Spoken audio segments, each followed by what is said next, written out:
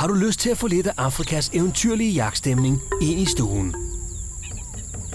Til at fornemme spændingen, når en flok jagtbare antiloper løber lige mod skytten. Til at se og høre mere om kalibre og kugler. Og til en række spektakulære skud. Så er Drivjagt i Afrika sagen. Ny DVD på 70 minutter fra Hunters Magazine. Den koster 249 kroner, og du finder nærmeste forhandler på gontex.dk.